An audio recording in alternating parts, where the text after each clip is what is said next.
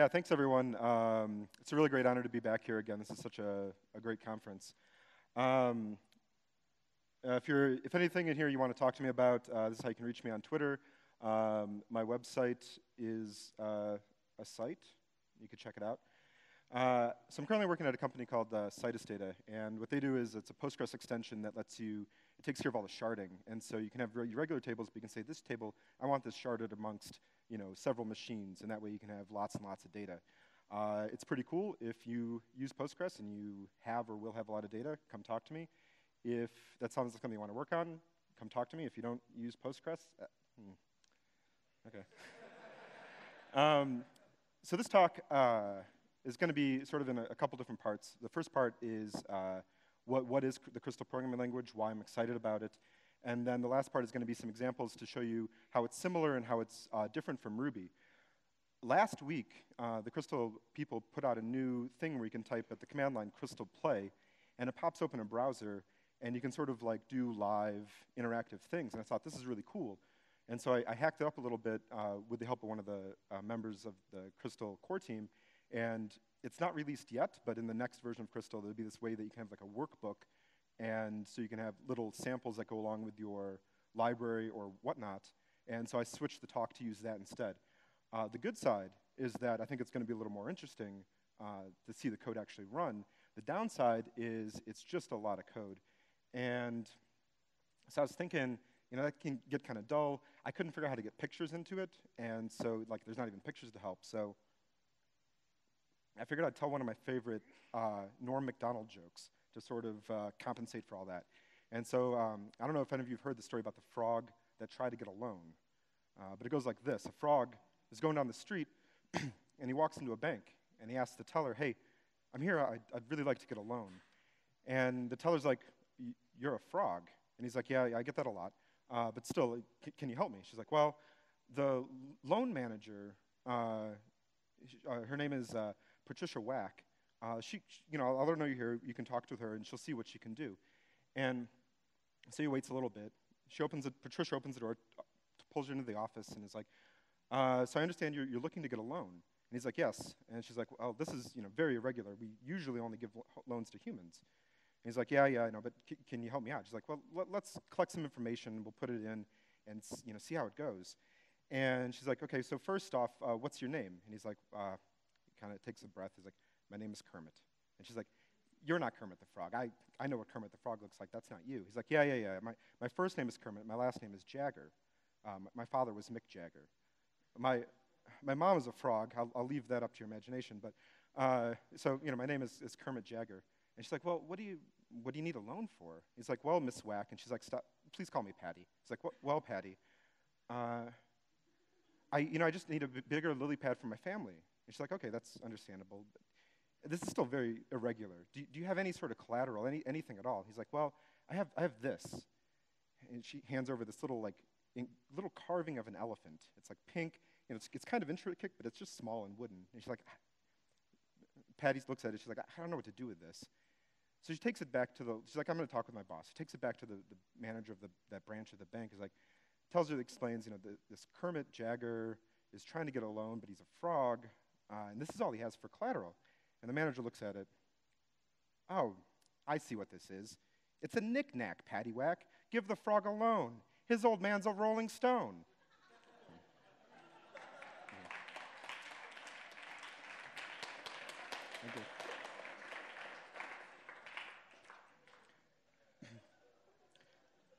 So, uh, thank you. So, uh, completely differently. The Crystal programming language, it's, um, it's a programming language, uh, it is unabashedly Ruby inspired. Uh, the syntax, the idioms, and everything is, as you'll see soon, very similar to Ruby. Uh, but it's completely compiled. There's no virtual machine running the code at runtime. Uh, and it's built on top of LLVM. And LLVM, uh, especially in the last years, has really become a marvelous project. Uh, it's, you know, the combined work of Apple, Google, some other companies, and the, the machine code that it's able to generate and the optimizations it does is just really astounding. And um, the entire Crystal project, there's not really that many contributors. I haven't done all that much work with the language, like maybe 80 some commits, but I'm still like one of the bigger contributors to the language. Uh, and the reason that that's possible is one, like the, the top two people, the top three people are, are very pro proficient or prolific, uh, especially the, the main creator. Uh, but also, because LLVM is doing all of the optimizations, all the work, you can get incredibly fast programs, and Crystal's more of just like a front end to LLVM. And I really think that the next 10 years of languages, I always thought, you know, last 10 years, Ruby has done, you know, dynamic languages have been phenomenal. But I always thought as computers got faster, more cores and stuff, like the languages, dynamic languages get faster. But what it, what it seems to me is happening is the compile step on these compiled languages is just getting shorter and shorter and shorter. And, um, and so the, foundation here of, of a language that's built on LLVM, I think is going to be a dominant player in the next 10 years. If it's not Crystal, it's maybe you know, some other language uh, built on this, but I think it's the best foundations that you can have going forward. Uh, some differences from Ruby, it has all static method dispatch, uh, so there's no runtime dynamism. Once the program is compiled, it knows statically at every single call site what it's going to be. But that said, uh, you don't give up a lot of the sort of nice interfaces that you have in your Ruby programs. You still have uh, the ability to define dynamically, or not dynamically, but define, you know, programmatically getters and setters and like macros and, and so on. Um, it's all also statically typed. And this is the first language, I'm not a language connoisseur, I'm sure there's other examples of languages that have, you know, phenomenal type systems. Uh, this one just, it feels really good. Like you don't have to say types almost anywhere. It figures it all out. It does automatic unions of types, uh, which I'll show you some examples of. Uh, and then also it's very easy to link against C libraries, so you can have a nice um, ecosystem sort of ready to go. And it's also very fast. Um, micro benchmarks, you know, take them with a grain of salt, of course. Uh, but this, on the left here, is a Crystal program with a, a, a library that's a Sinatra clone. Uh, and on the right, there's just regular Sinatra. Uh, and running it with Puma, using the, the wrk uh, tool to generate load, you can see it's uh, order of magnitude faster, an order of magnitude uh, less latency, and two orders of magnitude less RAM. So like, you know, this is just a micro benchmark. Of course, like real applications would be very different, but this, you know, it's pretty cool. Um, it's been going on for a couple years now.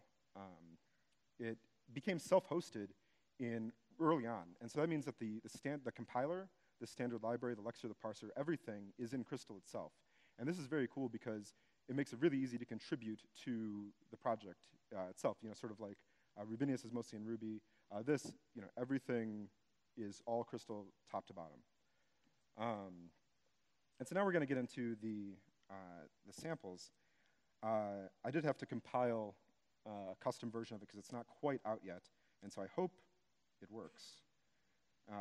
And it just opens up this nice browser that you can do things. And so uh, all these codes are, samples are available. Uh, you can check it out now. You can't really use it until the next release, but it, I saw they're prepping for a release, so that should be probably in the next couple days, if not uh, tonight. And then also to go along with the theme, uh, I put in a couple uh, carpentry jokes. And so I never really wanted to be my roommate was stealing from his job as a road worker. But when I got home, all the signs were there. And so here similarities between Ruby and Crystal. You have uh, you know, of course, ranges here are the same. P to do a, a puts, uh, puts with inspect, turning it to an array, being able to chain methods, uh, blocks, lambdas, closures, and you know, so on and so forth. Um, this is all, you know, this code would work the exact same way in Crystal as it does in Ruby. Uh, the classes, uh, object-oriented programming, implicit recursive methods, this is all, you know, very similar. Um, yeah, instance variables. Uh, also, classes are open. And so whatever the last definition overwrites, you know, the same as Ruby. And what's really cool about this is that um, the standard library is also in Crystal, as I mentioned. And so you can reach, you know, if there's something that's not quite light that you don't like about the standard library, you can reach in and modify it, and you're not going to pay any uh, performance penalty. So if I like do this and do size, it'll say that the size is two because there's two characters. I can reopen string,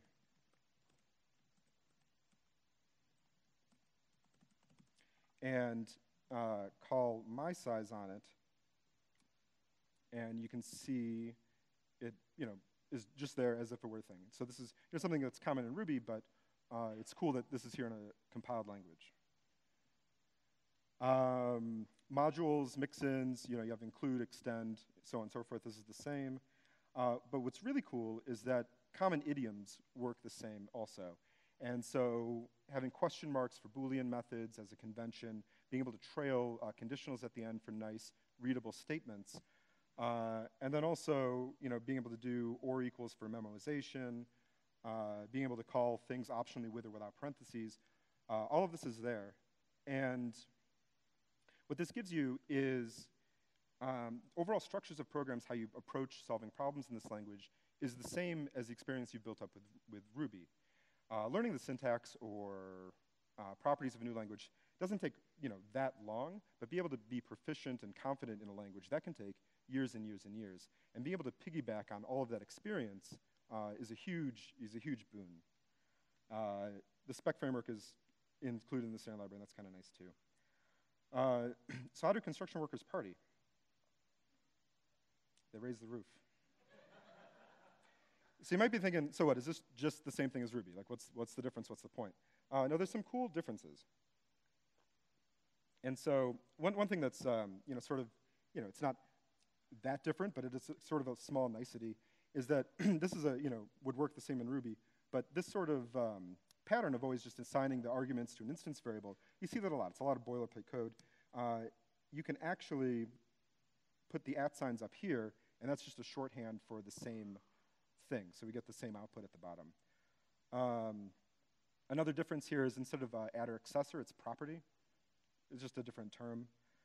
Uh, and what's really cool about this is, uh, just as a side, because we have a, a, proper class here to show off, is you can use the tools that are as part of the language and start getting information about the class. We can see here that the greeter has two properties, a name and a salutation, and there's both strings. And you can see how much uh, space this will take up on the, uh, as memory, and uh, you can see the, the hierarchy of the classes. My favorite feature, though, that is a small one but uh, very fun, is that the two proc thing is a little more powerful. Uh, so it's a period instead of a dot, and as everyone knows, that's 50% less uh, ink, so you're, you're saving stuff already. Um, but what, what's really cool is that you can start chaining things. And so instead of just doing upcase, we can, uh, we can reverse and then upcase. Uh, you can also do things that take arguments. And so we can do split it off of every character, sort the characters, and then rejoin them, and without having to go up to uh, block syntax. And you know that's not a huge thing, but it is, you know it's kind of nice. Uh, and I watched a documentary about how they fixed Steelwork last night. It was riveting.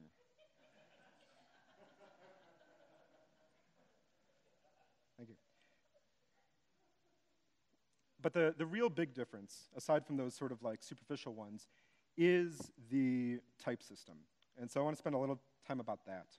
And so if we look at this uh, example here, uh, we have a method that takes something and then calls the multiply method uh, with the argument of 2. And so we pass in an integer here. Uh, if we ask what the type of the, the type of the result is, it's going to be int32. And this type of uh, keyword is the compile time type. Uh, the distinction of, that I'm going to make there will be made more clear later. Um, and if we pass in the string high, the type of the result is uh, string. And we can see here, just like in Ruby, it doubles the string. What actually is going on under the hood is it's creating two copies of the method, one that takes a 3, or one that takes int32 as an argument, and one that takes strings as an argument. If we um, passed in uh, uh, a float, then there would be three copies of the method being made, one for each of the argument that's in the program. Uh, where it gets more interesting, though, is how the union types work. And so here's a method that instead of taking different inputs, it has different outputs. And so some of the time, it'll return the int32, and some of the time it'll return a string. And so we see over here what the return type, the type of the compiled type is, is a union of int32 and string. Now, if we ask it what the class is, that's the runtime class. And so when we pass in something that is high enough, we get the integer out. The runtime class is int, but it's still a union type, actually. If we pass in something that's too low, the runtime type is a string, but it's the compile time type is still the union of the two. So let's see what, what, what happens when you have that. Um, as we saw in the past example, both uh, integer and string implement that times method. And so we can, this still works here. So we multiply by 2, we get 30. We multiply 2, we get the string repeated twice. If, however, we try and use plus, uh, things start to go wrong. Now, what's happening here is any methods that you call downstream have to be on every member of the union type. And while there is a plus on string, there isn't one that is plus with int32 as the argument. And so this program fails to compile. This is a compile time error. Um, and so we can think, okay, so, so what can we do about this? Well, one thing we can stop, maybe our, our first thought is let's not return a string, and maybe that'll work. But now we're getting a different error. What happened here is that now we don't have a multiplication method on nil. Uh, of course, just like in Ruby, if, there's no, if the condition doesn't match, it returns nil. Uh, and we didn't, we, you know, we, we, knew that, you know, but we didn't expect it. And what this actually is a compile time error that prevents all the cases that you've seen in Ruby of like undefined method on nil, all of those sorts of errors can be checked at compile time. And some languages have special syntax for dealing with nil. What's interesting here is this just falls out of the automatic union typing that is going on here.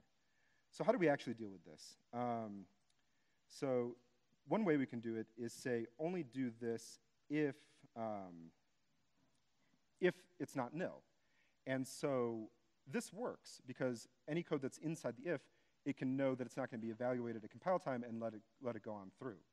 So that's kind of nice. Uh, if you don't want to do it like that, and you, you, you, you, like, I know what this is going to be all the time, you can do, implicit, you can do explicit casting, and that works. Uh, you can also say not nil, and this is kind of gross and long on purpose because it to sort of discourage its use. Because if you do have a mistake, and you say, oh, my, I know that this is not going to be nil, now you get a runtime error, and then you, you, you lose all of those advantages of the type system. Uh, but what's really cool about this is nowhere in here, except for this implicit casting at the bottom, were we talking about any types. It just figured them all out at, at compile time. And um, some people say, oh, so it's optional typing. And it's not, I, I, I don't know my terminology, I'm not a, a language um, expert, but I would say it's not optional typing. Because uh, the languages I see that do that, they don't care either way, they just, you give up um, the constraints if you don't say the type. This, everything is always typed, you just don't have to say it. Inference, type inference, yeah. No, thank you. Um, another cool thing you can do is um, method overloading. Uh, so this is a very contrived example, but it's not that uncommon from some you know, methods in uh, active record and such, which you know, split off the arguments that you give it uh, and do some assertion. So this is you know, you know, fairly contrived, admittedly, but what's cool in Crystal is you can, if you do want to say the types, you can say the types, and then it knows which method to, to go to at runtime.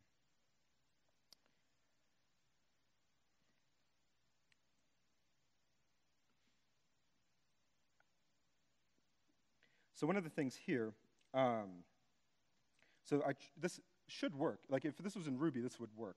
And so we have this, um, you know, uh, base class that we inherit from, and uh, you know, of course, you know, it's better to prefer um, composition over inheritance, but sometimes you use inheritance. And the reason this is failing is because uh, the compile time type here of the pet is seen to be as animal plus any of its children. But animal itself uh, does not include the talk method because it's just sort of an abstract class. And so what you can do here is uh, use the abstract keyword, and that will, you, are saying like, I will never instantiate uh, the, the base class I, I promise I'll never do that, and then everything works. Uh, another thing you can do if you're, you want to you know, be explicit about your interfaces, you can say abstract def talk, and this will be the same now, but if you forget to implement the talk method on one of them, it'll compile, it'll throw an error right there, and you can see exactly what you forgot to do. The only thing that um, where you kind of, the types kind of get um, in the way a little bit is with containers. Uh, so you see here we have an array of arrays, um, and this first one, the type is array of array of the union of character and integer. And so if we uh, make a mistake and put them in the other order of our pairs, uh, this one still works because it's the union type inside. And we also run into all the same problems of uh, having to have a method that's on all the different types. Uh, Crystal provides a thing called a, a tuple, uh, which is present in uh, many languages, but not, it's a foreign concept in Ruby. Uh, and what this is, the type now, is an array of the tuple of int32 and character. And this is position uh, specific. And so with that, if we try and put something in backwards, that doesn't work because a tuple of type int and then car is not the same as a type of car and then tuple and int. And this one also works very fine because it knows that the type can only be that one type. Everything compiles fine. Uh, one uh, sort of downside, though, of all this typing is that you can't just make an empty array because it wants to know, uh, you know, the memory sizes of how to lay stuff out in RAM. And so you either have to say of int32, uh, or as you've seen over here, this array with the parentheses, you can do it equals int32 um, array int32 new. And this is how uh, generics work in the language. If you're familiar with generics from other languages, you can define your own classes that take a parameterized type as a thing. This is bringing me to my next uh, question. What nails do carpenters hate hammering? Very good. It is fingernails.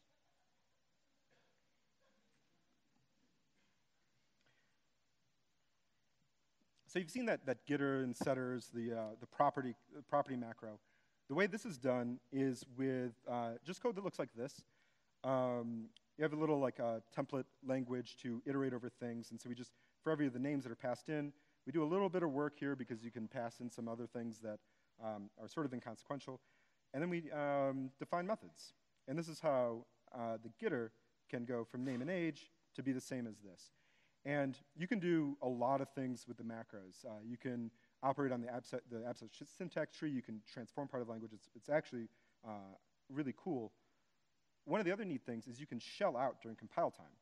And uh, so this example uh, uses backticks to shell out and get the current date. And this actually gets burned into the program. So you can see when you make it um, and run it immediately, you have the same dates. And then as you iterate it over time, the build stays the same, but the current version uh, changes as time goes on. And you can imagine really cool things you can do here. Like, um, so there isn't really an ORM for the language yet, but you can imagine at compile time it connects, looks at the schema, and then starts populating methods. Um, and so that's really cool. But also what's really cool is the kind of shark that make good carpenters. Hammerheads, I heard someone, yeah. Also, this build right here, this is thematic.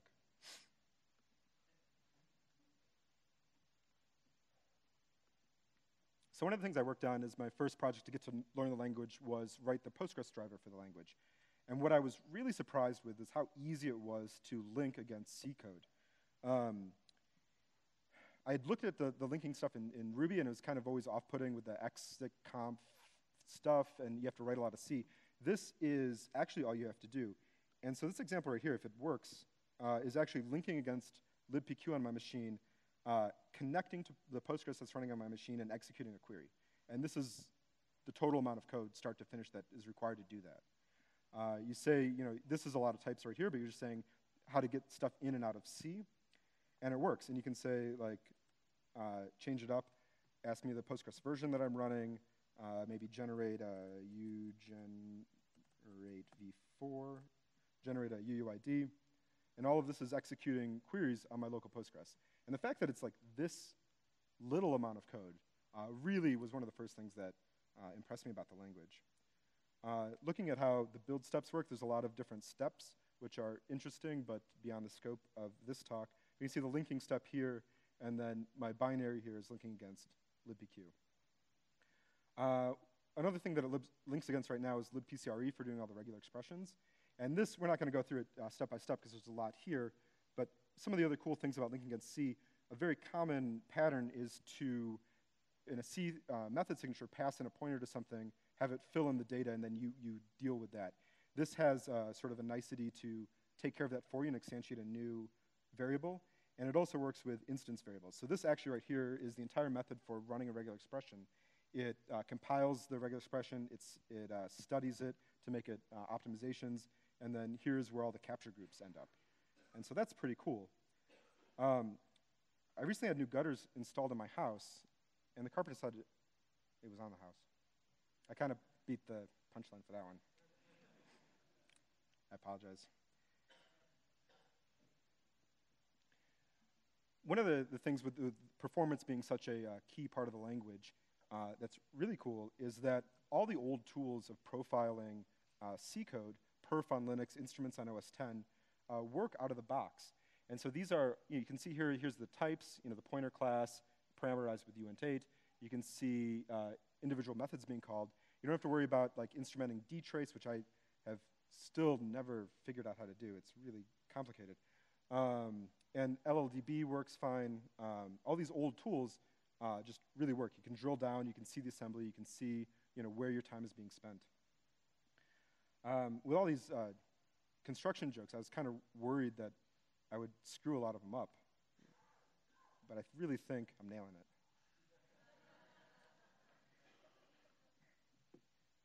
so some things that I wanted to put in here that uh, was hard to uh, put in and also uh, you know, make it make sense. Uh, just a little grab bag here is uh, structs are interesting. Uh, unlike the Ruby ones, they're actually the same as classes, except they're only allocated on the, on the stack. And so you can't change, once you create it, you can't change any of the values, but it can be much more efficient for those sorts of use cases. And you can sort of, it's easy to go back and forth between the two and you can uh, really reduce the memory footprint of your programs by using that. Um, all of the I.O. in the language is evented, um, and a lot of the things, you saw the string interpolation earlier, what that's actually doing is creating an I.O. object and, uh, and a buffer and concatenating it in, so uh, it's actually you know, very, very performant. Uh, it's stealing some ideas from popularized by Go, uh, so there's a, a code formatter built in that you can run as part of your editor to automatically have you know, code formatted the same way across all your projects. Uh, the concurrency model is also uh, inspired by Go. It's you know, channels and coroutines. Uh, currently, though, I must admit there is no parallelism. So you can have concurrent code, but it's still only executing on one processor. Um, it's still, the language is not yet 1.0, but that's going, um, coming along. And if you're interested in installing this, uh, giving it a try, I really welcome it. If you have any questions, uh, please reach out. This uh, crystal-lang.org slash docs has installation instructions for Mac, Linux, what have you. And um, I, I, was in a conversation last night, uh, just to, to, finish things up. We were talking about like our home hometowns and stuff. And I, I did grow up in a, a, small town in Illinois. And um, you know, it's very, uh, you know, you know, a few hundred, like 100 people, 120 in my class. Uh, my mom's house, there's like sheep and goats. Uh, it's a very small thing. And there's this one guy uh, who we always pinned you know, being a small town, we pinned all our hopes and dreams on. His name was uh, Justin. And we were always like, Justin's going to go great places. And, uh, you know, he was, you know, he graduated high school early. He went on to college, got a degree, Rhodes Scholar, went off to, to England. Um, but then we all lost, lost track of him and, you know, didn't hear from him for years. And I caught up with him uh, just the other, uh, just the other couple months when I was uh, visiting Niagara Falls. And so there's like a, like a you know, not a Sea World, but some sort of aquatic uh, park there. And I, I, go up and I see a guy working there, and you'll never guess who it was. It, it, was, it wasn't Justin, it was someone else. But I saw another guy, I kept walking. And, uh, and then there I saw the, the, baby, um, the baby dolphin exhibit. There he was, like feeding the dolphins. And I said, Justin, what, what's, what's the matter with you? Like, you know, I, we always, our whole town, we, we put all our dreams on you. And I understand that that's a lot of burden to put on one person, but you know, you're you know feeding you know dolphins. Like what you know what went wrong? And he said, well, I, I don't know. I think you're giving me a lot of trouble. I, I really think I'm serving a youthful Thank you.